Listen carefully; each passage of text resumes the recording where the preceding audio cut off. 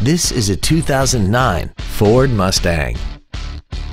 This car has a 5-speed automatic transmission and a 4.0-liter V6.